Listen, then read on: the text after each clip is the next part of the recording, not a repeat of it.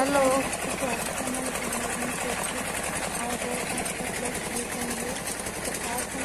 देखेंगे कि रजाई में रुई कैसे भरी जाती है। ये देखिए, ये मशीन है जिससे कि रुई की धुनाई होती है। जिस, इस प्रोसेस को रुई का धुनना बोलते हैं। ये मशीन है जिसकी हेल्प से रुई को धुना जाएगा। अब इसको ये ऑन करेंगे।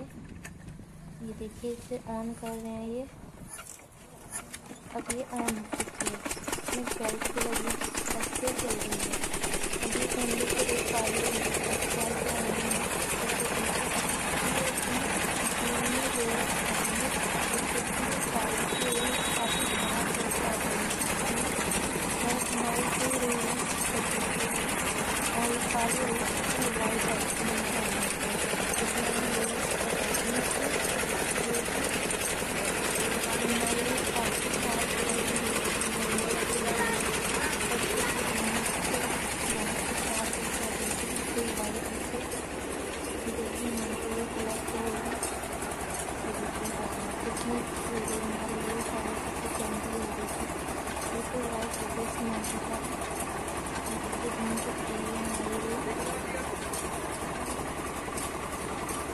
हमारे सामने आएगी बहुत से रेली डिज़ाइन करने के लिए अभी हमारी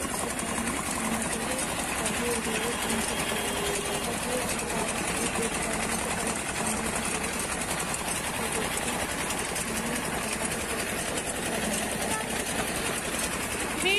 रहे हैं। मशीन की आपके अभी धुन जाएगी। अभी देखिए, हमारी इन्होंने रजाई में डाल दी है। अब इसका जो मेन स्टेप है लास्ट स्टेप वो है इसकी सुई धागा, यानी कि इसमें टाँके लगाए जा रहे हैं। टाँके लगाना सबसे ज़्यादा इम्पोर्टेंट है रुई धुलने के बाद, उसमें भरने के बाद, क्योंकि जब रुई अगर हम टाँके नहीं लगाएँगे तो ये रुई सारी एक जगह इकट्ठी हो जाएगी, जिससे हमारी रजाई ख़राब हो जाएगी। और फिर वो उसे बिल्कुल फ्लैट करने में भी काफ़ी दिक्कतें आएँगी। तो टाँके तो बहुत ही इम्पोर्टेंट हैं। तो ये टाँके लगा रही हैं इसमें। ऐसा नहीं है कि इसमें काफ़ी हमें छोटे छोटे टाँके लगाने हैं। बड़े बड़े लगाएँगे, वो भी चल जाएगा। टाँके लगाने का प्रोसेस ये पूरा प्रोसेस करना होगा पूरे एरिया को कवर करके।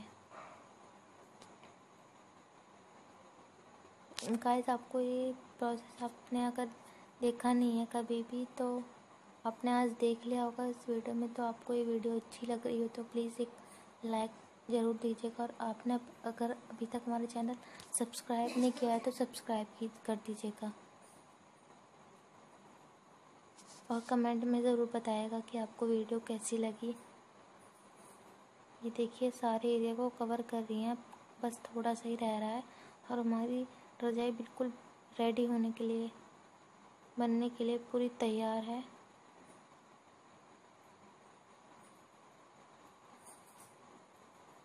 ये देखिए, पूरी रजाई हमारी बिल्कुल काफ़ी अच्छी लग रही है।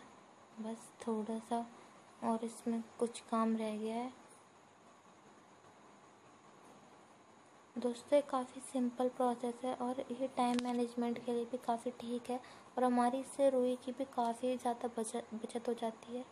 तो ये प्रोसेस बहुत ही अच्छा लगता है। हमारे बजट का ही है ये प्रोसेस भी। और एक हमें नई रजाई भी मिलती है, देखिए। अभी इतनी अच्छी लग रही है और पूरा होने के बाद भी बहुत अच्छी लगेगी। ये देखिए। ये पूरा यहाँ पे एरिया है।